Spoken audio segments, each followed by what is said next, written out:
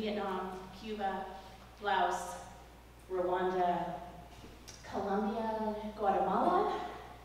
Am I forgetting any right now? Uh, a word, uh, the world She's is, global. the world is full of, of places to build peace. So, um, and I'm so impressed with you all. You're all so and thank you for bringing all these women together.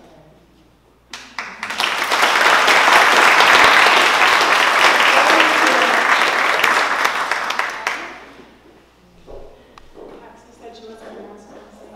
Uh, my name is Laurie Ashton. I'm a non-recovering lawyer.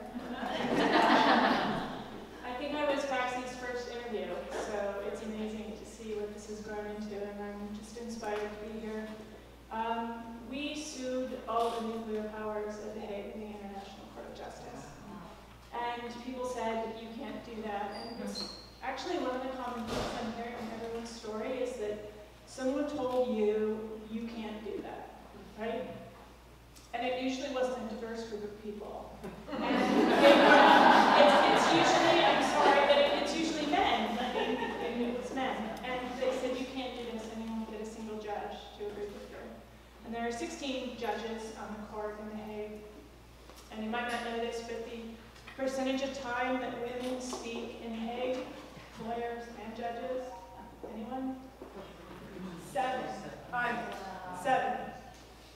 So anyway, uh, we did have hearings, we had weeks of hearings, um, and it was eight to eight, which in our case means we did not prevail. But a great deal of um, scholarship has come from it, and a great deal of progress, and you probably hear a lot now in the news where folks are calling out the hypocrisy of the states, and that work was part of that movement. So my challenge to everyone in the room is this. Let's be the people who say you can do that when you hear an idea, a good idea.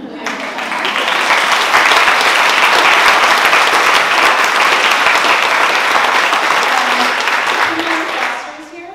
Kimberly, tell them, when I interviewed you, you uh, were, are the co-director of the Bioengineering Institute here on campus. Tell them what your next gig is.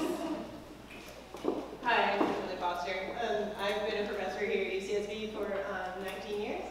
Um, I have been involved in the Bioengineering Center, I'm mechanical engineering. I, I'm one of those en- females who went into engineering. I was one of two people in my all my undergrad classes, and now I'm happy to say it is getting better, although not fast enough. We need more. But um, in a week, I'm moving to uh, on to something new. I'm, I'm moving to New Orleans and to be the dean of science and engineering at Tulane.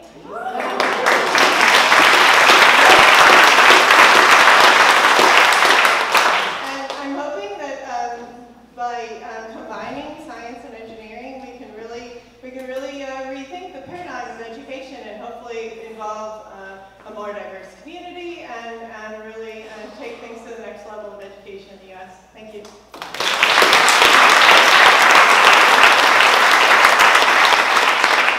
When we launched two and a half years ago here in this home, Wendy was here supporting me as always, and Kennedy. And um, Helene Schneider was the mayor back then, and you opened this up, and look, you wore my lucky charm. Look at Well, thank you. Uh, hello. I'm no longer the mayor. Did term limits in Santa Barbara, but um, oh my gosh, so amazing all around. And uh, we know that Santa Barbara is a special place, but to, especially to have a convening like this, and I hope that this blossoms into some kind of amazing troublemaking type of work. Um, I'm, I'm very honored now to have uh, two positions that, as being mayor, helped me launch into the next thing. Um, you won the speed dating. I'm going to talk to you because I, one of my roles is uh, I'm the regional coordinator for the U.S. Interagency Council on Homelessness, covering California and Arizona. So issues related to veteran homelessness, of course, is very important. And I'm doing some work with Cal State University Channel Islands and trying to connect ways that South Santa Barbara County really bring in more opportunities for our students in this area to the university there, uh, in conjunction with UCSB, not in competition with UCSB, of course. But um, thank you for the You're cut off now. opportunity. Thank you.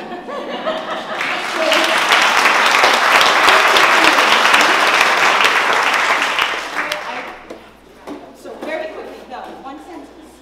At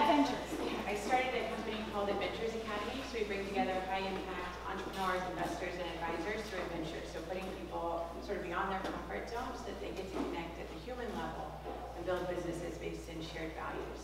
So tops of mountains, you know, surfing, things like that.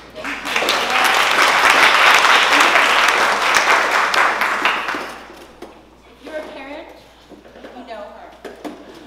So hi, my name is Anu and I started a company called ParentSquare here. So if you have kids in town, you probably use ParentSquare. Uh, you know, I started it just because I felt that parental involvement is so important, but nothing is being done by schools to actually address that. Because it's it's a nice to have for schools rather than must have. So I'm making it easier.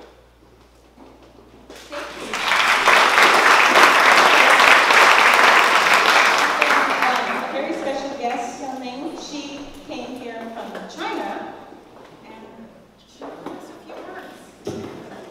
I, I guess one of the honor to, to be here is because I came all the way from China. um, my name is Yan Ling, and um, I only want to share that I feel so moved and touched and inspired and empowered, and also really blessed to be here. And I think this, uh, again, the object, objectification of women is such a strong message, and uh, the beauty really, really coming from inside. I'm really happy to see so many beautiful souls here, and hopefully everything we can do um, can also spread the news. Maybe like a ripple, but you know when you think about China, it's massive, so it's gonna allow your help and participation. Thank you so much. Georgina, she's mountaineer, CEO of She Ventures. Hi everyone, Georgina Miranda, um, CEO of She Ventures and also uh, Mountaineer. Um, really grateful to be here amongst such extraordinary women and um, my three tr- truths that have basically directed the last 10 years of my life are that uh, women are the largest untapped resource in the world. And uh, I think all of my work is hopefully contributing to changing that um, in its own way. And that violence against women is, is wrong, and so that's a good piece, and that eventually changes lives. And so thank you, Paxi, for having me here.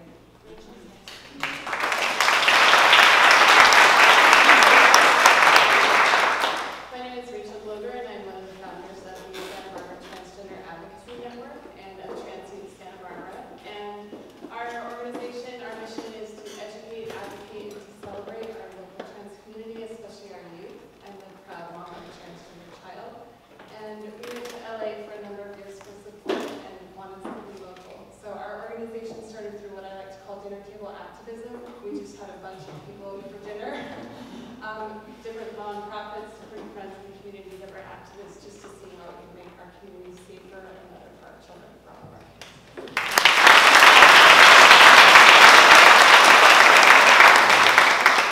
I'm Laura Bialis. I'm a filmmaker from Santa Barbara. My first, uh, I've been doing this for 20 years. The first film I did 20 years ago was about this incredible woman named Judy Meisel, was a woman who had survived the Holocaust and then become a civil rights activist.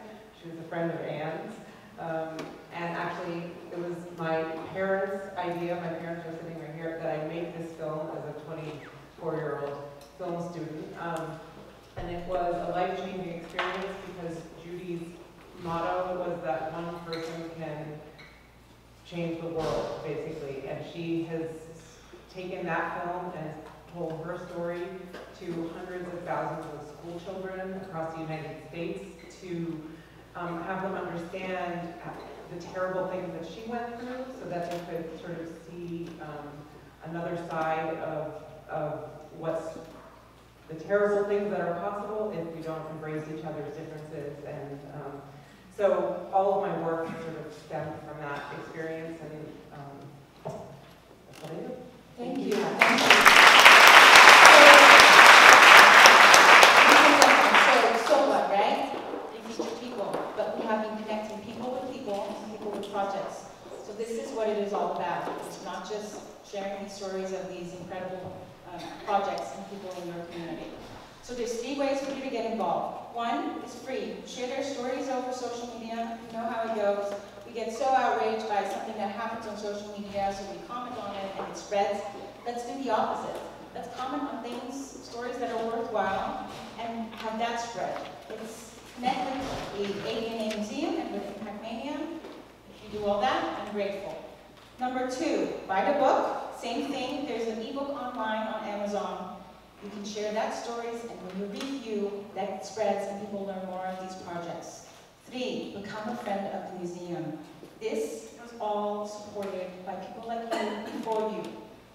Very grateful to the AD&A Museum um, and the interns. They were working here because you know, gifts were given. So if you just become a friend of the museum, I am so grateful because indirectly you will support me. It's a tax deductible gift. So know that is important. So please, there's donor forms. I don't know who holds the donor forms. At least she will make sure. That is also the way for me to stay in touch with you. Because if you give, I have an official way to connect with you. We're starting our new project with our interns in the fall. We have an official internship. They receive credit for the work they do with me. You've seen some of their work in the hall when you walk in. Book they've worked on it. So I would really love your support. Not just monetarily, we actually go out and connect with people like you every step of the way, from the ground up, to build up a new project and a new project. I don't know, if you know this, but it involves neuroscience, arts, and humanities, and technology, and that's all I'm going to say. So please support the museum. I'm very grateful. Never a one-woman show. Please stay for this. I have to do this because Ashley Sophia Squire Foundation, thank you. My dear friend, Professor Ron Shashadri.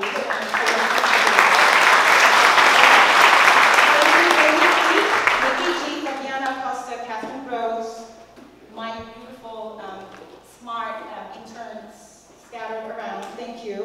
And um, Katie and Amy, my family, thank you. And thank you to the woman who Bruce? Because Bruce, could you cover your ears? I've not discussed this with Bruce, but there's a a thousand dollar level. If you donate today, I'm gonna have you go. Because one of the benefits is like you can attend receptions, etc. If you, a thousand dollar and up, I will sneak you into the post event, which is actually a thank you buffet dinner for the Women of Impact. But if you so choose, stay, okay? Thank you.